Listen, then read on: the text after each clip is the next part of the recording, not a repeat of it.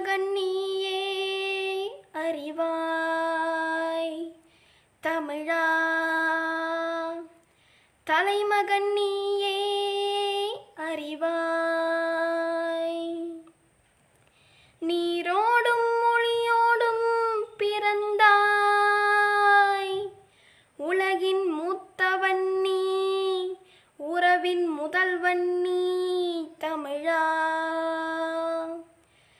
தலைமகன் நீயே அறிவாய். வீரம் செறிந்தோம் காதல் புரிந்தோம் விண்ணை மிஞ்சும் குரலை உரைத்தோம்.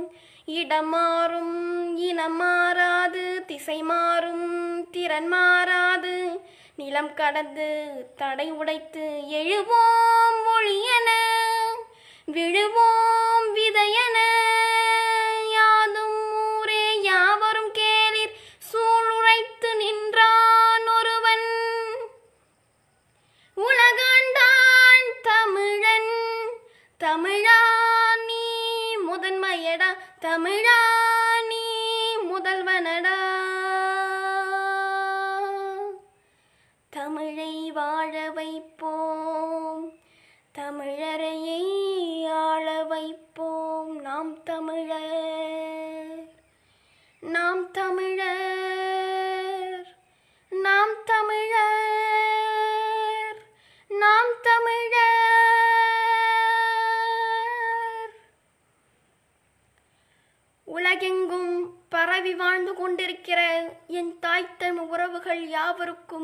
வணக்கம். வன்மை உயர்வு மனிதர் நலமெல்லாம் பெண்மையினால் உண்டென்று பேச வந்த பேரரசி நாயென்று பெண்ணை நவில்வார்க்கும் இப்புவிக்கு தாயென்று காட்ட தமிழருக்கு வாய்த்தவள். மூடத்தனத்தின் முடைநாற்றம் வீசுகின்ற காடு மணக்கவரும் கற்பூர பெட்டகமான என் பாட்டியார் வீர தமிழச்சி வேலுநாச்சியார் அவர்களின் வீரம் செறிந்த வரலாற்றுச் சுவடை தமிழர்கள் நினைவு கூறுவது அவசியமானது. இது காலத்தின் கட்டாயமும் கூட.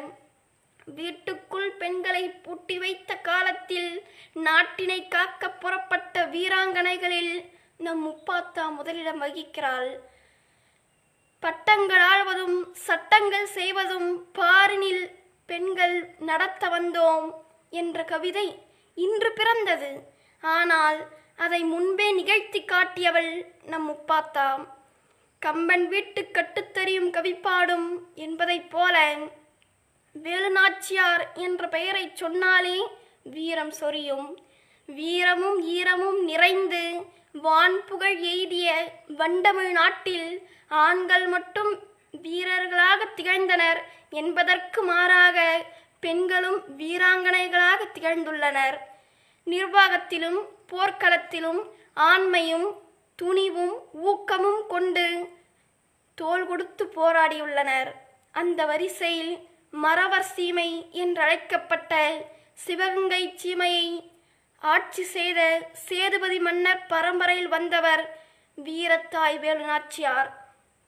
போர்க்களத்தில் புறவியேறி போர் புரிந்து தமிழ் மண்ணுக்கு பெருமை சேர்த்தவர் வீரமங்கை வேலுநாச்சியார் என்பதை விடவும் புறநானூற்று தாய்மார்களையும் புறந்தள்ளி பெருமை சேர்த்தவர் வேலுநாச்சியார் என்று உண்மையிலேயே பெருமையுடன் கூறி மகிழும் வண்ணம் இறுதி வரை வீர பெருமாட்டியாய் வாழ்ந்து மறைந்துள்ளார். என்பதில் தமிழகத்து பெண்கள் என்றும் தலை நிமிர்ந்து நிற்கலாம். ராமநாதபுரத்திற்கு அருகில் உள்ள சக்கந்தி ஊரைச் சேர்ந்த முத்தாத்தாள் நாச்சியார் அரசர் செல்லமுத்து சேதுபதி தம்பதியினருக்கு ஆயிரத்தி எழுநூற்றி முப்பதாம் ஆண்டு மகளாக பிறந்தவர்தான் வேலு நாச்சியார். சிவகங்கை சீமையை ஆண்டு வந்த சசிவர்ண தேவர் மகன் முத்துவடுகநாத பெரிய உடையார் தேவருக்கும் வீரமங்கை வேலுநாச்சியாருக்கும் திருமணம் நடந்தது. ஆயிரத்தி எழுநூற்றி ஐம்பதாம் ஆண்டு சசிவர்ண தேவர் மரணமடைந்தார். அவருக்கு பின் முத்துவடுகநாத பெரிய உடையாத்தேவர் பொறுப்பேற்றார். வியாபாரத்தின் பேரில் வந்த ஆங்கிலேயர்கள் இந்திய நாட்டை அடிமைப்படுத்தி ஆண்டதோடு அரசாண்டு வந்த சிற்றரசர்களை சிற்றரசர்களிடம் வட்டி வரி என வசூலிக்கவும் தொடங்கினார். தொடங்கினர். இக்காலகட்டத்தில் ஆர்காட் நவாப்பின் பெரும் படை ராமநாதபுரத்தை கைப்பற்றியது. இச்செய்தி முத்துவடுகநாதருக்கு தெரிய வரவே நவாப்பின் நயவஞ்சகத்தை அறிந்து சிவகங்கையையும் பதம் பார்க்க வருவான் என்று நினைத்தார். இதனை அவரின் மனைவி வேலுநாச்சியரிடம் தெரிவித்தார். கிழக்கிந்திய கம்பெனியின் பக்க பலத்துடன் நவாப் படையெடுத்து வருவான். அவர்களிடம் புது புது போர் ஆயுதங்களும் நவீன பீரங்கிகளும் துளைத்தெடுக்கும் துப்பாக்கிகளும் இருக்கின்றன. அதற்கு ஈடாக நாமும் நம் படைகளை பலப்படுத்த வேண்டும். போர் பயிற்சியை வீரர்களுக்கு அளிக்க வேண்டும். சிவகங்கை சீமையை முழுமையாக பலப்படுத்த வேண்டும் என்று இருவரும் முடிவெடுத்தனர். இச்சமயத்தில் வந்தவர்கள்தாம் முக்குளம் ஊரில் பெர் வாழ்ந்து வந்த மொக்க பழனியப்ப சேர்வை பொன்னாத்தாள் தம்பதியினருக்கு பிறந்த பெரிய மருது சின்ன மருது என்ற மருது சகோதரர்கள் இருவரும் முத்துவிடுகநாதருக்கு வலக்கரமாகவும் இடக்கரமாகவும் துணை புரிந்து வந்தார்கள். அதன் பின்னர் கான் சாகிப் என்று சொல்லப்படுகின்ற மருத நாயகத்தின் சூழ்ச்சியால் காளையார் கோயிலில் முத்துவடுகநாதர் ஆங்கிலேய பான்சோரினால் சுட்டுக்கொள்ளப்பட்டு சிவகங்கை கைப்பற்றப்படுகிறது. இதனை அறிந்த வேலுநாச்சியார் புயலாக சீறினார். கொண்டு வாருங்கள் எனது போர்வாரை எனது குதிரைகளை கொண்டு வாருங்கள். இப்போதே புறப்பட்டு என் கணவரை நயவஞ்சமாக வீழ்த்தியவர்களை நான் கொன்று வருகிறேன் என்று பேராவேசத்தோடு புறப்பட தயாரானார் தயாரானார். ஆனால் அதை தடுத்து நிறுத்திய பெரிய மருது நாம் நம் நாட்டை இழந்து நிற்கிறோம். நமது நிலை சரியில்லை. நாம் இப்போது காளையார் கோயிலுக்கு செல்வதை விட தப்பித்துச் செல்வதே சரியானது என்று பெரிய மருது கூறியதால் ஒப்புக்கொண்ட வேலுநாச்சியாரும் அவர்களும் நாட்டை விட்டு வெளியேறினர். வேலுநாச்சியார் தப்பிச் சென்ற விஷயம் ஆங்கிலேயருக்கு தெரிய வரவே வேலுநாச்சியாரை பிடிக்க பின்தொடர்ந்தனர். இதை தெரிந்து கொண்ட மருது சகோதரர்கள் வேறு வழியாகச் சென்றனர். ஐயனார் கோயில் பாதையில் சென்றிருப்பார்கள் என்று நினைத்து சென்ற ஆங்கிலேயர்களுக்கு ஏமாற்றமே காத்திருந்தது. அங்கு உடையாள் என்ற பெண் இருந்தால் அவளிடம் வேலுநாச்சியார் எந்த பக்கம் சென்றார்? என்று கேட்டனர். சரியான பதில் சொல்லாததால் அவளது தலையினை வாளால் வெட்டி வீழ்த்தினார்கள். வெட்டுண்ட இடத்தில் வெட்டுடையால் காளியம்மன் கோவில் ஒன்றினை பிற்காலத்தில் உருவாக்கினர். அதன்பின் கம்பெனி படைகளின் கொட்டத்தை அடக்க அவர்களின் பரம எதிரியான ஹைதரலியை சந்திக்க எண்ணினார் வேலுநாச்சியார். திண்டுக்கல்லிலிருந்த ஹைதரலிக்கு மடல் ஒன்றை எழுதினார் வேலுநாச்சியார். அம்மடலில் ஆற்காட்டு நவாப் கம்பெனி படைகளின் துணை கொண்டு ராமநாதபுரம் சிவகங்கை ஆகியவற்றை ஆக்கிரமித்து அட்டூழியம் செய்து வருகிறார். அவர்களிடமிருந்து தப்பி வந்த நான். கல்லர் தமிழர்களுடன் காடுகளில் தங்கி கிளர்ச்சிகளை செய்து வருகிறேன். இச்சமயத்தில் தாங்கள் உதவி செய்தால் பெரும் சாதனைகளை செய்து முடிப்பேன். இதற்காக தாங்கள் ஐந்தாயிரம் போர் வீரர்களையும் நவீன போர் கருவிகளையும் தந்து உதவும்படி கேட்டுக்கொள்றார். கேட்டுக்கொள்கிறேன் என்று வேலுநாச்சியார் மடல் அனுப்பினார். பல மாதங்களாகியும் பதில் வந்து சேரவில்லை. பின் அவரே ஹைதரலியை சந்தித்து பேசுகிறார். அவரின் வேண்டுகோளுக்கு இணங்கி வேண்டிய உதவிகளை செய்வதாக உறுதியளிக்கிறார் ஹைதரலி இச்சமயம் மருது சகோதரர்களை கொண்டு பிரான்மலை சந்திரக்கோட்டை சங்கரபதி கோட்டையில் மறைவிடங்களில் போர் வீரர்களுக்கு பயிற்சி அளிக்க ஏற்பாடு செய்தார் வேலுநாச்சியார். வேலுநாச்சியார் வெற்றி பெற ஹைதரில் எல்லா வகையிலும் முன்னாயத்தம் செய்து வந்தார். ஆண்களுக்கு போர் பயிற்சி அளிப்பது மட்டுமல்லாமல் பெண்களுக்கான உடையாள் படை என்ற ஒன்றை குயிலியின் தலைமையில் உருவாக்கி பெண்களுக்கும் போர் பயிற்சி அளித்து வந்தார் வேலுநாச்சியார். ஆயிரத்தி எழுநூற்றி எண்பதாம் ஆண்டு ஐப்பசி திங்கள் சிவகங்கையை மீட்க வேலுநாச்சியாரின் படை புறப்பட்டது.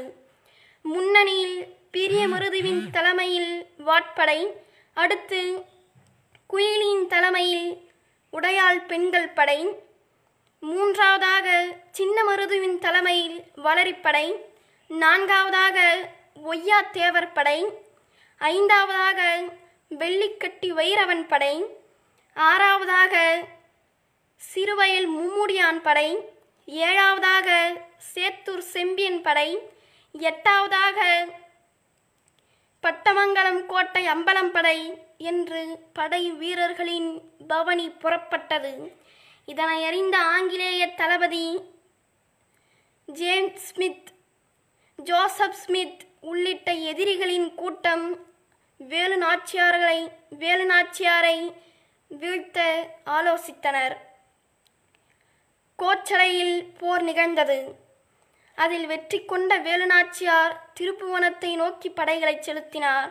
கோச்சடை சிலைமான் பகுதிகளை வெற்றி கொண்ட வேலுநாச்சியாரின் படை திருப்புவனத்தை கடந்தது. அந்த படை சிவகங்கையை அடைவதற்குள் மானாமதுரையில் அவர்களை மடக்கி அழித்துவிட வேண்டும் என்று ஆங்கிலேய தளபதிகள் அனைவரும் சதித்திட்டம் தீட்டி நவாப் படைகளும் ஆங்கிலேய படைகளும் கம்பெனி படைகளும் மானாமதுரையில் கூடாரம் அடித்தன. இப்படையை மிக திறமையாக வெற்றி கொண்டார் வேலுநாச்சியார் சிவகங்கை திருப்பத்தூர் ஆகிய ஆகிய பகுதிகள் ஆங்கிலேய படைகளும் நவாப் படைகளும் ஆக்கிரமித்து உள்ளனர். அந்த பகுதியை கைப்பற்றினால்தான் சிவகங்கை சீமை முழு விடுதலை அடையும் என்பதை உணர்ந்து படைகளை பல பகுதிக்கு பிரித்தி அனுப்பி போரிட்டார் வேலுநாச்சியார் அதன் மூலம் திருப்பத்தூர் ஆங்கிலேயர்களிடமிருந்து மீட்கப்பட்டது. சிவகங்கை கோட்டைக்குள் குயிலி உள்ளிட்ட உடையாள் படை மகளிர்களோடு போர் கருவிகளை மறைத்து வைத்துக்கொண்டு மாறு வேடத்தில் உள்நுழைந்து வீரத்தோடு போரிட்டார் வேலுநாச்சியார் அச்சமயம் தீனால் தன்னை பற்ற வைத்துக்கொண்டு கொண்டு ஆயுத கிடங்கிற்குள் குதித்தார். ஈகத்தின் இலக்கணமாக திகழும் குயிலின் ஆச்சியார் அவர்கள். தீக்கதிர்கள் பட்டு வெடிமருந்துகள் வெடித்து சிதறின. தோட்டாக்கள் வெடித்தன. துப்பாக்கிகள் தீயில் கருகி போனது. சில நிமிடங்களில் ஆயுத கிடங்கு சாம்பலானது. அந்த வீர மங்கையும் சாம்பலோடு சாம்பலாகி போனாள். ஆயுத கிடங்கிலிருந்த ஆயுதங்கள் முற்றிலும் அழிந்து போனதால் ஆங்கிலேயர்கள் வீழ்ச்சியடைந்தார்கள். சிவகங்கை சீமை மீட்கப்பட்டது. வெற்றி வாகை சூடும் நேரத்தில் வேலுநாச்சியார் தன் உயிர் தோழி குயிலி சுற்றுமுற்றும் குயிலியை சுற்றுமுற்றும் தேடி பார்த்தபொழுது குயிலின் உயிரற்ற சடலம் தியாக வேள்வியில் சாம்பலானது கண்டு பேரதிர்ச்சி அடைந்தார் வேலுநாச்சியார். தன் உயிர் தோழி இத்தனை பெரிய தியாகத்தை தனக்காகவும் தன் நாட்டிற்காகவும் செய்திருக்கிறாள் என்பதை உணர்ந்த வேலுநாச்சியார் தான் பெற்ற வெற்றியை மறந்தார். தன் வெற்றிக்கு வழிவகுத்த குயிலிக்கு அஞ்சலி செலுத்தினார். பின் வீரமங்கை வேலுநாச்சியார் வாழ்க! என்று மக்களா மகிழ்ச்சியால் ஆரவாரம் செய்தனர். வீர முழக்கங்கள் விண்ணை பிளந்த வண்ணம் இருந்தது. வீரத்திற்கு இலக்கணமாய் வேலுநாச்சியாரும் ஈகத்திற்கு இலக்கணமாய் குயிலினாச்சியாரும் பிறந்த மண் இது. அவர்களின் வழி தோன்றல் நாம் என்பதில் பெருமிதம் கொள்வோம். வேலுநாச்சியாருக்கு நாடு முக்கியமாக இருந்தது. நாட்டு மக்களின் நலம் முக்கியமாக இருந்தது. ஆங்கிலேயர்களை விரட்டியடித்தாக வேண்டும் என்ற எண்ணம் அவர் நெஞ்சமெல்லாம் நிறைந்திருந்தது. தன்னால் முடியும் என்ற நம்பிக்கை அவர் உள்ளத்தில் உறைந்து கிடந்தது. அதனால்தான் அவரால் இறுதி வரை உறுதியோடு உழைக்க முடிந்தது போராட முடிந்தது போரிட முடிந்தது. வீரத் தமிழச்சி வேலுநாச்சியார் தனக்கென வாழவில்லை.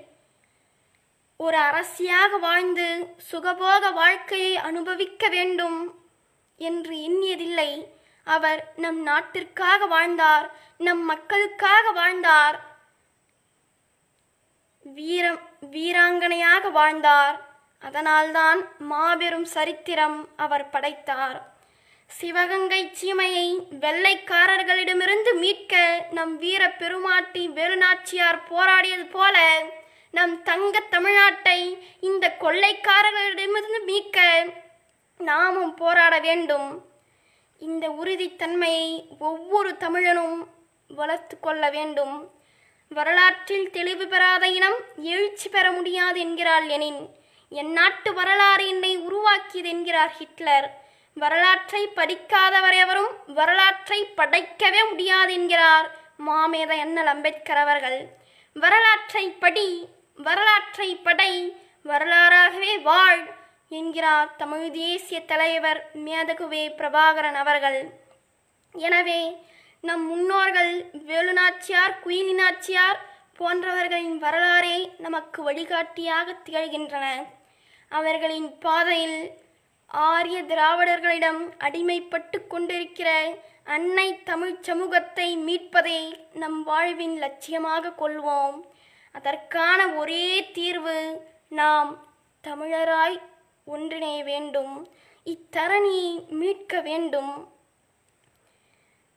வாழ்க வேலுநாச்சியாரின் வீரம். வாழ்க குயிலினாச்சியாரின் ஈகம். வாழ்க தமிழ் வாழ்க தமிழ். நாம் தமிழர்.